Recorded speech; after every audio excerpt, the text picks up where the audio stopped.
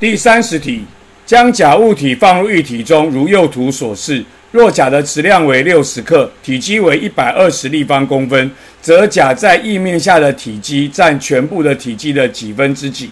我们从题目上面说甲在液面下的体积，就可以知道甲应该是浮着。但是我们应该是要从它的密度来看，密度呢 D 等于 V 分之 m。我们发现体积是一百二。那么质量是六十，所以它的密度是零点五。因为钾的密度比液体密度小，所以钾会浮起来。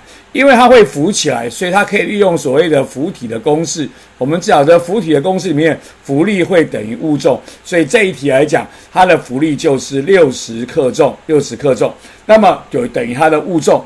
但是它题目要问的是甲在液面下的体积，甲在液面下的体积就是所谓的排开一体的体积。我们又晓得。浮力一定是所谓的排开的液重，也就是排开液体的体积乘以液体的密度。所以这题的浮力有六十克重，我们不晓得它排开的体积有多少。液体的密度是一点二，所以排开的体积呢，应该就是五十立方公分。